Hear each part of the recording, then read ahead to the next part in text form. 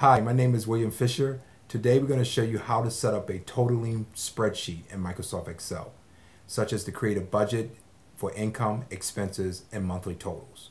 Okay, now we have a simple budget sheet here, and we are going to show how we came up with the subtotals. Select the subtotal in the formula bar and you can see we're selecting the function number. We're just going to show that by deleting the function number we'll give you a list of function that functions that we can use. We chose non because that is sum. Uh, so once you choose non, we basically want to show that we have a range of numbers we want to want to sum, which is C2 and C3 in this case.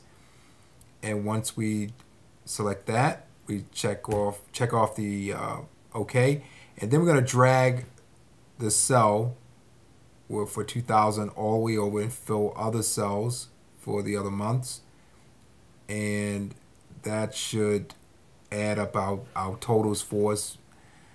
So now that we have the income total dragged across the entire months. Now we're going to go to the monthly savings and we're going to drag that across the other months as well. And the totals are calculating properly. Now we're just going to explain the formula for monthly savings. You see it's, it's calculating the income, living total, and other total. Let's go ahead and add another expense category.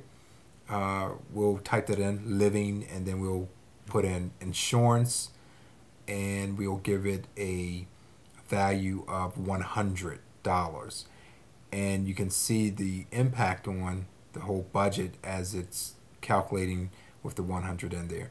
So this is a simple budget sheet that will allow you to have subtotals as you enter data in the entire budget sheet